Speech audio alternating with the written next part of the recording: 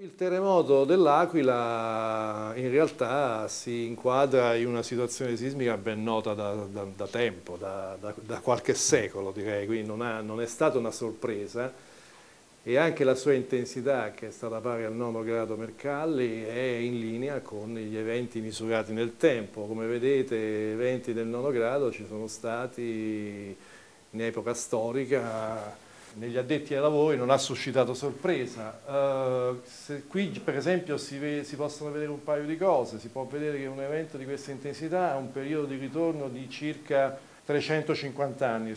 Oh, L'intensità comunque è stata intensa, devo dire, molto al di sopra della fascia media e quindi il fatto che ci siano stati dei danni, eh, anche questo era prevedibile perché nel, nel progetto di un edificio ovviamente uno progetta per terremoti eccezionali o parzialmente eccezionali quale può essere questo, prevedendo anche la possibilità di taglieggiamenti. Uno degli effetti che sicuramente ha giocato un ruolo importante all'Aquila sono le differenze di geologia superficiale, ci sono state forti amplificazioni dovute agli effetti locali, ci sono state forti differenze di risposta in edifici apparentemente o magari anche sostanzialmente identiche a distanza di poche decine di metri. Poi ecco, sono stati evidenziati altri effetti, per esempio la, presenza di differenze di quote o di pendii che hanno anche lì amplificato gli effetti, gli effetti di direttività che sono gli effetti per cui l'onda principale si trasmette ortogonalmente la direzione della faglia e quindi quella è la direzione che sollecita di più l'edificio e altre situazioni di questo tipo e comunque l'effetto sulla città è stato, come scritto lì, a macchia di leopardo. Sono zone con danni ingenti e zone molto vicine con danni molto meno ingenti. E questo diciamo, è spiegabile sostanzialmente con l'effetto locale del terreno e della morfologia del terreno. Grazie. Una particolarità che io ho osservato all'Aquila, non so se anche voi ci siete stati, avete avuto modo di vederlo, è eh, moltissimi edifici hanno avuto il crollo delle tamponature esterne. Uh, in realtà lì esiste un problema proprio di costruzione di queste pareti, perché per problemi di isolamento termico, l'Aquila sta in montagna, è, stata inserita tra, foglia, tra, il foglio esterno e il foglio interno in muratura un strato isolante abbastanza spesso, quindi le due pareti sono assolutamente staccate l'una dall'altra e molto spesso la parete esterna è crollata. Purtroppo che all'Aquila ci sono state numerose vittime, ce ne sono state anche fuori dall'Aquila, il numero di edifici collassati in cemento armato è 15, il numero di edifici in muratura collassati è 32, però negli edifici in cemento armato ci sono state molte più vittime. Adesso il motivo probabilmente è anche il fatto che gli edifici in cemento armato in genere sono più alti e quindi ospitano più, più persone, però questa è un'indicazione che, eh, che, forse va tenuta in conto per il, per il futuro. Insomma. Allora, questa è una mappa del, del centro della città dell'Aquila. Quelle indicate in rosso sono gli edifici in cemento armato che hanno subito o crolli totali o gravissimi danni. Come vedete sono allineati su una fascia, quindi qui c'è un declivio di pendenza e probabilmente ci sono, come dicevo all'inizio, anche effetti locali dovuti al tipo di suolo che c'è in quella zona. Ci sono eh. alcuni punti che ovviamente tutti noi conosciamo e che dobbiamo ben tener conto, tanto l'edificio deve essere in grado di resistere alle azioni in tutte le direzioni, quindi in particolare in due direzioni ortogonali. Ovviamente anche essere progettato in modo tale da evitare più, gli effetti più dannosi, in particolare gli effetti torsionali, quindi deve avere una, una regolarità, le norme ormai lo impongono, una regolarità in pianta per evitare gli effetti torsionali, una regolarità anche in alzato per evitare il di, disassamento delle masse Vanno evitati per quanto possibile i piani soffici, in particolare i piani pilotia il piano terra. Bisogna evitare la concentrazione del danno nelle colonne in particolare, quindi in particolare i pilastri tozzi, i pilastri corti, dove si concentra l'azione di taglio. E poi c'è un problema che all'Aquila ho visto frequentemente, che evidentemente è l'effetto della normativa sismica vigente nel periodo in cui le, quelle costruzioni sono state realizzate. D'altra parte solo le normative più recenti eh, mettono il fuoco su questo problema, quello che ho visto spesso sono travi molto robuste appoggiate su pilastri piuttosto esili.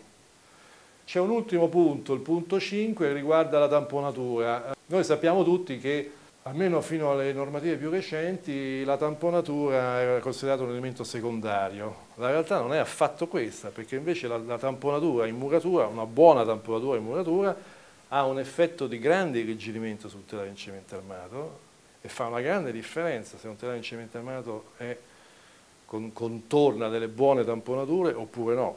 Fa una grande differenza i piani in cui esistono le pareti dai piani aperti dove non esistono le pareti e quindi eh, mentre nel progetto, eh, secondo le normative più vecchie, si faceva senza tener conto delle tamponature, che venivano considerate comunque degli elementi aggiuntivi e quindi a favore di sicurezza, la realtà potrebbe non essere assolutamente questa. La realtà è questa solo se le tamponature sono inserite nell'edificio in modo mm, diciamo uniforme, omogeneo, allora si incrementa la rigidezza dappertutto, in tutte le direzioni, a tutti i piani, allora uno ha un miglioramento, ma se uno inserisce le murature solo in alcune parti, altre rimangono aperte, allora si introducono delle disomogeneità che hanno degli effetti peggiorativi e non migliorativi. Questo è un edificio crollato, completamente. Come vedete è vicinissimo a quest'altro che invece è sopravvissuto e anche agli altri due che invece sono sopravvissuti anche se con danni. Questa è una foto prima dell'evento del terremoto, è l'edificio crollato, il probabile elemento di maggiore vulnerabilità di questo edificio era proprio in questo piano terra e in particolare in questi pilastri tozzi, corti, eh, in cui si è concentrata tutta l'azione di taglio proveniente dell'azione inerziale sull'edificio nei quattro piani superiori, si è concentrata lì su un'altezza molto bassa dove la duttilità era piccolissimo, addirittura inesistente, ha provocato il taglio del pilastro e il crollo dell'edificio.